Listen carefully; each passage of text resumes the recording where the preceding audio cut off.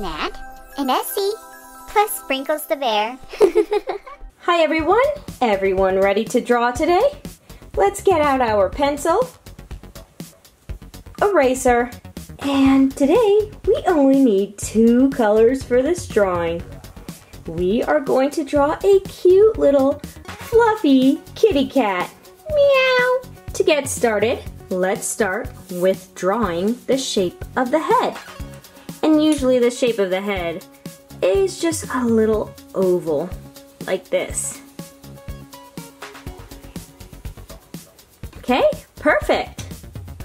Now, attaching to the corners of the top of the oval, we're going to add some cute little ears. You will make your circle very lightly, but so you can see it, I make mine really dark. So now I'm going to erase these lines that I made on the inside. I can see this cute little cat coming along, but it needs a body. So let's attach what looks like a pear to the bottom of the kitty cat. Great. And now we have to add the legs. And a line in the middle. And then go ahead and erase the bottom line so that we can attach the feet. But wait a minute. Cats have tails. And I think I want to add a bushy tail. So let's go ahead and add the tail right here like this. And we're going to add some spots to the cat.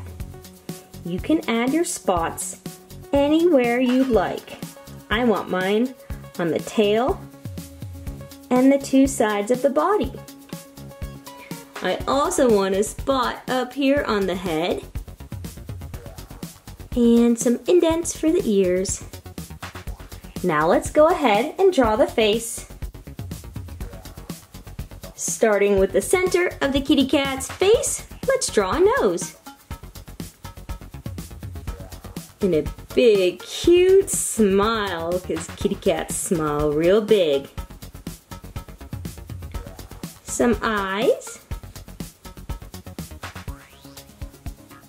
And of course, a big black dot for the center. Cats also have whiskers, Let's add a little spot on each side and make whiskers grow out of that spot. This cat is looking so cute. What do you think? Is it time to paint our kitty cat? If you've erased all the lines you'd like to get rid of, let's go ahead and draw this kitty.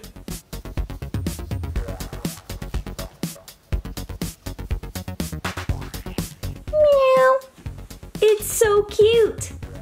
We need to add some color to this cat. I'm going to make my spots brown, but you can make your spots any color you'd like.